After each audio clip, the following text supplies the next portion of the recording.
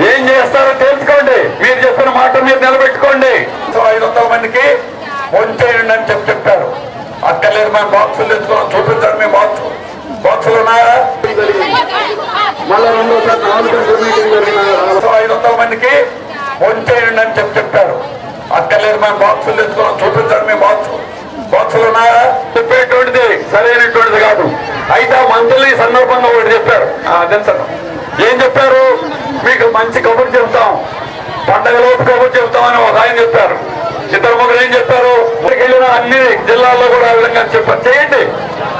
మీ మీ నోట్లో పంచదార వేస్తాం.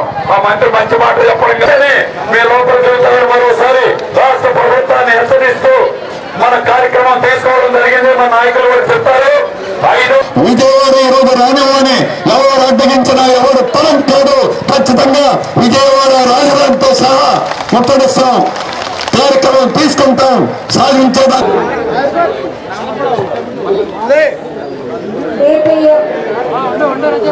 అంగన్వాడీ సమస్యలు చాలా న్యాయసమ్మతమైనవి. ప్రభుత్వం గత నాలుగేళ్ళ నుంచి ధరల ఆకాశాన్ని అంటుతున్నా ఏమాత్రం జీతాలు పెంచలేదు. జీతాలు పెంచాలని డిమాండ్ చేస్తున్నారు. అలాగే గ్రాట్యుటీ సుప్రీంకోర్టు తీర్పును అమలు చేయాలని డిమాండ్ చేస్తున్నారు. మీరు అంగీకరించినటువంటి మీ మినీ సెంటర్ల మెయిన్ సెంటర్గా మార్చాలని డిమాండ్ చేస్తున్నారు. ఇవన్నీ కూడా న్యాయసమ్మతమైనటువంటి డిమాండ్లు. అందుకని ఇది పరిష్కారం చేయకుండా అదిరించి బెదిరించాలని సమ్మెను అణిచేస్తామని ఉద్యోగాలను డిస్మిస్ చేస్తామనేటువంటి బెదిరింపులు మానండి. ఇది సమయ పరిష్కారానికి సరైనటువంటిది కాదు. అందుకని సమస్య పరిష్కారానికి రాష్ట్ర ప్రభుత్వం వెంటనే చర్యలు చేపట్టాలని వీటన్నింటినే పరిష్కారం చేయాలని లేకపోతే మా పోరాటాన్ని మరింత ఉధృతం చేస్తామని హెచ్చరిస్తున్నాం. గవర్నమెంట్ గవర్నమెంట్ ఐదు జీవోలు జారీ చేసింది. మంత్రులు రెండుసార్లు చర్చలు చేశారు. మూడు సార్లు అధికారులు చర్చ చీఫ్ సెక్రటరీతో సహా స్వయంగా చర్చలు చేశారు. కానీ వారికి ఆలస్యం అయితే డిలే టాక్టిక్స్ గవర్నమెంట్ చేస్తుందేమంటే ఆలస్యం అయితే ఎక్కువ రోజులైతే కార్మికులు కాళ్ళ దగ్గర పడతారు అని అనుకుంటున్నారు. అది వాళ్ళ తరం కాదని మేము చెప్పదలుచు ఎన్ని రోజులైనా విజయం సాధించి తల జీతాలు పెంచుకొని తలలెత్తుకొని గర్వంగా మాత్రమే లోపలికి వెళ్తారు. ఇది ప్రభుత్వం యొక్క చేతగాంతనం ప్రభుత్వం యొక్క బాధ్యత. ఈ రోజే సమస్య పరిష్కారం చేస్తే ఈ రోజే మేము నిర్ణయం తీసుకుంటాం. రేపు ఆదివారం అయినా డ్యూటీలు చేస్తాం. అందుకని ప్రభుత్వం చేస్తుంది తప్పుడు పని. ఎన్నికల సమయం మీ ఎన్నికల సమయం. అందుకని టాక్టిక్స్గా ఆలస్యం చేస్తే మిగిలిన వాళ్ళు రారని. మాతో చర్చల్లో కూడా అదే చెప్పారు. చీఫ్ సెక్రటరీ గారు గారు కూడా ఏం చెప్తున్నారు? మీకు ఇస్తే మిగిలిన వాళ్ళు కూడా వస్తారు. ఏం ఎందుకు రారు? తప్పే ఉంది. మున్సిపల్ వర్కర్లు అడగడం తప్పేమిటి? సర్వశిక్ష అభియాన్ అడగడం తప్పేమిటి? మీరు ఇవ్వలేదు వాళ్ళకి. పదిహేను వేలు పన్నెండు వేలతో టీచర్లు ఈరోజు పనిచేస్తున్నారు. టీచర్లతో ఆ రకంగా పని చేయించుకోవడం అన్యాయం కదా. అందుకని సర్వశిక్ష ఎందుకు చేస్తున్నారు? ఊరికే సరదాగా ఎవడు పోరాటం సరదాగా చేయడు.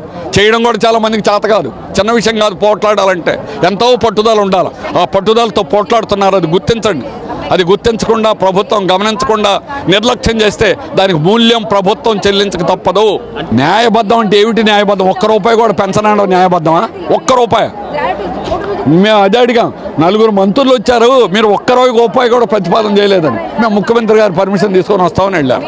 అందుకని వాళ్ళ చేతకాల ప్రభుత్వం యొక్క చేతగానితనం. ప్రభుత్వం యొక్క వైఫల్యం. అలాగే పోనీ సెంటర్లు నడపనండి. పిల్లల్ని తీసుకురమ్మనండి. అది కూడా ప్రయత్నం చేశారు. అది కూడా వాళ్ళ తరం కాల. అందుకని ప్రభుత్వం యొక్క వైఫల్యం స్పష్టంగా కనిపిస్తుంది. అందుకని మీ వైఫల్యాన్ని సర్దిద్దుకోండి ఇప్పుడైనా. న్యాయం చేయండి. సమస్యలు పరిష్కరించండి. వెంటనే మేము డ్యూటీలకు చేస్తాం. ఇప్పటికి ఇరవై మూడు రోజులు అయింది సమ్మెబాట పట్టిన అంగన్వాడీ వర్కర్లము కనీస వేతనం ఇరవై ఆరు వేల రూపాయలు ఇవ్వాలని మినీ వర్కర్లు మెయిన్ వర్కర్లు ఇవ్వాలని సుప్రీంకోర్టు ఇచ్చిన తీర్పు ప్రకారం గ్రాడ్యుయేట్ ఇవ్వాలని చెప్పేసి సమయపాట శాంతియుతంగా చేస్తున్నామమ్మ. శాంతియుతంగా చేస్తున్న వాళ్ళని రెచ్చగొట్టి దౌర్జన్యంగా బెదిరింపులు చేస్తూ అంగన్వాడీ కేంద్రాలను ఓపెన్ చేపిసి తాళాలు పగలగొట్టి చేస్తున్నారు. చర్చలకు నాలుగు మార్లు పిలిపించారు. వెనుదిప్పు తిప్పారు ఎందుకు చేతగాని ప్రభుత్వంలో చర్చలకు ఎందుకు పిలిపించాలా? అంగన్వాడీ వర్కర్లకు వేతనం పెంచినప్పుడు ఎందుకు చర్చలకు మూడు మార్లు నాలుగు మార్లు ఎందుకు పిలిచాలా? మేము చేస్తున్నాం. నాలుగు సంవత్సరాలు పైబడిన ఈ రాజ్ ఈ ప్రభుత్వం వచ్చిన తర్వాత తర్వాత మేము ఈ రోజు మొదలు పెట్టాము. మేము చర్చలకు పిలిచినప్పుడు కూడా చెప్పాము సమ్మె నోటీస్ ఇచ్చాము. మేము సమ్మెకు ఆగ ఆగస్టులోనే మేము సమ్మెకి వెళ్తామని చెప్పేసి డిసెంబర్ ఎనిమిదో తారీఖు పోతున్నామని చెప్పేసి అధికారులకు ఇచ్చాము. అధికారులకు ఇచ్చిన తర్వాత ఈరోజు సమ్మె బాట పట్టినాము. వాయిదా వేయండి రాష్ట్రం వాళ్ళు వస్తున్నారు మన ఫుడ్ను తీసుకొని చే- చూసుకోవడానికి వస్తున్నారని చెప్పేసి పదకొండో తేదీ వారికి వాయిదా వేసిన వాయిదా వేసిన తర్వాత పన్నెండో తారీఖు మళ్ళీ మేము మొదలు పెట్టాము. మొదలు పెట్టి శాంతియుతంగా చేస్తుంటే అంగన్వాడీ కేంద్రాలను సచివాలయ ఉద్యోగాలను విసుగొలిపి అంగన్వాడీ కేంద్రాలను పగలగొట్టడం ఇది చాలా దుర్మార్గం ప్రతి ఆ మహిళలకు పక్షపాతి అన్న సీఎం గారు ఈ రోజు మహిళల పట్ల ఈ విధంగా అనుచితంగా ప్రవర్తిస్తుంటే పోలీసులను దాడికి ఎక్కడ చూసినా సమ్మెలు చేయకుండా నిర్వర్తిగా చేస్తున్నారు. ఈ నోటీసులు ఇంటికి పంపించడము దౌర్జంగా మాట్లాడించడము చర్చల్లో కూడా మీరు ఎంతవరకు చేస్తారు ఏ విధంగా చేస్తారని బెదిరించడము. బయటికి వస్తే మేమేం అనడం లేదు. మీకు రాజకీయ నాయకులు వత్తాసు పలుకుతున్నారో. మిమ్మల్ని రెచ్చగొట్టి పంపిస్తున్నారన్నారు. ఎక్కడైనా రాజకీయ నాయకులు ఉన్నారా? మేము ఎవరితోనో పొత్తు కలుపుకున్నామా? మేము అంగన్వాడీ వర్కర్లం అందరం ఐక్యతతో పోరాటం చేసుకుంటున్నాం. మా కనీస వేతనం ఇరవై ఆరు వేలు వచ్చే వరకు గ్రాడ్యుటీ సుప్రీంకోర్టు ఇచ్చిన ప్రకారం గ్రాడ్యుటీ వచ్చే వరకు మేము ఈ సమ్మె సమ్మె కొనసాగిస్తున్నాం. మినీ వర్కర్లు మెయిన్ వర్కర్లు ఇవ్వని కేంద్ర ప్రభుత్వం ఇచ్చినా కూడా రాష్ట్ర ప్రభుత్వం జీవో ఇవ్వడం లేదు. ఎందుకని? మహిళలం రోడ్డు ఎక్కడము? ఈ విధంగా దుర్మార్గం అని చెప్తున్నాము. కనీస వేతనమే అడుగుతున్నాము. మేము ఎమ్మెల్యేలకు ఎంపీలకు ఇచ్చేటంత వేతనం ఇవ్వమని చెప్పలేదు. మమ్మల్ని దొంగల్లాగా చిత్రీకరించి సరైన పౌష్టికాహారము సెంటర్ సెంటర్లకు సరిగా తోలడం లేదు. ఈ రోజు ఐదో తారీఖు లోపల మీరు సెంటర్లు ఓపెన్ చేయకపోతే మిమ్మల్ని తొలగించి మిమ్మల్ని ఏరియా ప్రత్యామ్నాయంగా మేము చేసుకుంటామని చెప్పేసి కలెక్టర్ వాళ్ళు నోటీసులు ఇవ్వడం జరుగుతుంది. కానీ ఇట్లాంటి పిల్లి బెదిరింపులకు మేము భయపడము. పిల్లిని ఇంట్లో వేసి కొడితే పుల్లి అవుతుందని తెలుసు. మహిళలు కూడా అదే ప్రకారంగా తిరగబడతారని కూడా తెలుసు. ఇంత ముందు ఉన్న ప్రభుత్వాలకు కూడా ఇదే విధంగా బుద్ధి చెప్పాం. ఈ ప్రభుత్వానికి కూడా మేము హెచ్చరిస్తున్నాం.